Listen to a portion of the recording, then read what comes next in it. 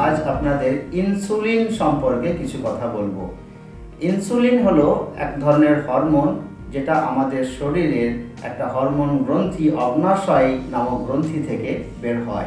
এই অগ্নাশয় নামক গ্রন্থিতে চার ধরনের সেলস থাকে। তার মধ্যে বিটা সেল ইনসুলিন হরমোন তৈরি করে। এই ইনসুলিন হরমোন আমাদের রক্ত শর্করাকে কলা কোষে পৌঁছে দিতে সাহায্য করে। আর কলাকোষের শক্তির প্রধান উৎস হলো এই রক্ত শর্করা। শরীরে যদি ইনসুলিন হরমোনের অভাব হয়, তাহলে রক্ত শর্করা কলা কোষে পৌঁছতে পারে না, যার ফলে কলা কোষে শক্তির অভাব হয় এবং বিভিন্ন ধরনের রোগের বহিঃপ্রকাশ ঘটে। এই ইনসুলিন আমাদের শরীরের জন্য বিশেষ গুরুত্বপূর্ণ।